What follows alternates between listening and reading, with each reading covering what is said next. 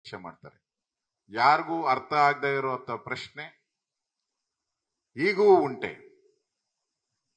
ಕಳೆದ ಐವತ್ತು ವರ್ಷಗಳಲ್ಲಿ ಯಾವ ಮಂತ್ರಿನೂ ಕೂಡ ಎಲ್ಲ ಬಿಲ್ಗಳನ್ನು ಸ್ಟಾಪ್ ಮಾಡಿ ಅಂತ ಬರೆದಿದ್ದು ಲೆಟ್ರು ನಾನು ನೋಡಿಲ್ಲ. ಎಲ್ಲ ಟ್ರಾನ್ಸ್ಫರ್ಗಳನ್ನು ನನ್ನ ಗಮನಕ್ಕೆ ತಂದು ಮಾಡಿ ಅಂತ ಹೇಳಿದ್ದು ಲೆಟ್ರ್ ಬರೆದಿದ್ದು ನಾನು ನೋಡಿಲ್ಲ ಐವತ್ತು ವರ್ಷದಲ್ಲಿ.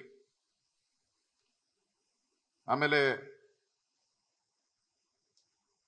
ಇಪ್ಪತ್ತಾರು ಕಂಡೀಷನ್ಗಳನ್ನು ಹಾಕಿ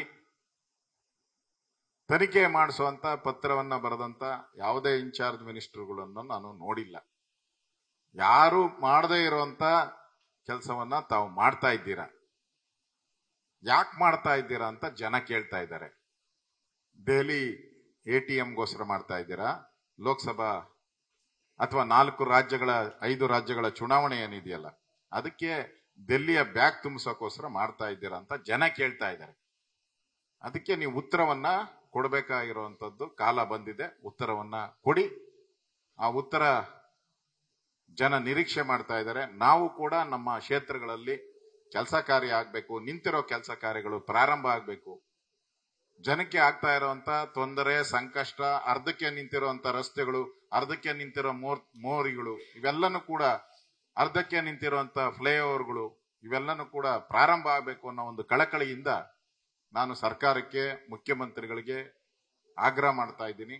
ಕೂಡಲೇ ಯಾರ್ಯಾರು ಈ ಕಾಂಟ್ರಾಕ್ಟ್ ಕರೆಸಿ ನ್ಯಾಯಯುತವಾಗಿ ಅವ್ರಿಗೇನು ಬಿಲ್ ಸಿಗಬೇಕಾಗಿದೆಯೋ ಅದನ್ನ ಕೊಡಿ. ನಿಮ್ಗೆ ಯಾರಾನ ಟಾರ್ಗೆಟ್ ಇದ್ರೆ, ಆ ತರದ ಹತ್ತು ಜನ ಯಾರಾದ್ರೂ ಇದ್ರೆ, ಹತ್ತು ಹದಿನೈದು ಜನ ಇದ್ರೆ, ಅವ್ರು ತಡೆ ಹಿಡೀರಿ ನೀವು. ನೆಗಡಿ ಬಂದಿದೆ ಅಂದ್ರೆ ಮೂಗನ್ನ ಯಾರು ಕುಯ್ದ ಕುಯ್ದಾಕಲ್ಲ. ಕಾಲಿಗೆ ಮುಳ್ಳು ಚುಚ್ಚಿದೆ ಅಂತ ಹೇಳಿದ್ರೆ ಮುಳ್ಳನ್ನ ಮಾತ್ರ ತೆಗಿಬೇಕು. ಕಾಲ್ನೆ ಕಟ್ ಮಾಡು ಅಂತ ಹೇಳುವಂತ ಸ್ಥಿತಿಗೆ ನೀವು ಕಾಂಗ್ರೆಸ್ ಹೋಗಿದ್ದೀರಾ ಅಂದ್ರೆ ಇದರಿಂದ ಹಂಡ್ರೆಡ್ ಪರ್ಸೆಂಟ್ ಕಿಕ್ ಬ್ಯಾಕ್ ಸಂಸ್ಕೃತಿ ಕಾಂಗ್ರೆಸ್. ಆ ಕಿಕ್ ಬ್ಯಾಕ್ ಸಂಸ್ಕೃತಿಯನ್ನ ಮತ್ತೆ ನೀವು ಪ್ರಾರಂಭ ಮಾಡಿದ್ರೆ ರಾಜ್ಯದ ಜನ ಬುದ್ಧಿ ಕಲಿಸ್ತಾರೆ ಅನ್ನೋ ಮಾತನ್ನ ಈ ಸಂದರ್ಭದಲ್ಲಿ ನಾನು ಆ, ತಿಳ್ಸಕ್ ಇಷ್ಟಪಡ್ತೇನೆ. ಧನ್ಯವಾದ. ವಿಸ್ತಾರ ನ್ಯೂಸ್. ನಿಖರ ಜನಪರ.